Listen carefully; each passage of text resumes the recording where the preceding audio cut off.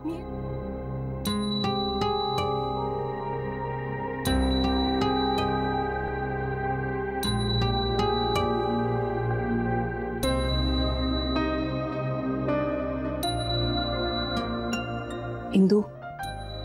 नकोस ना.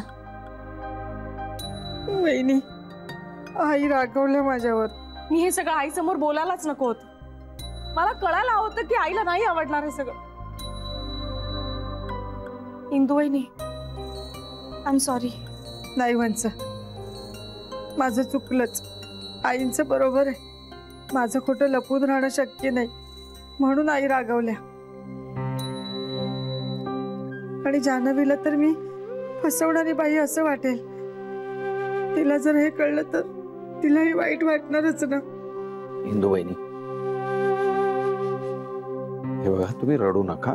होत असं कधी कधी मी बोलतो यांची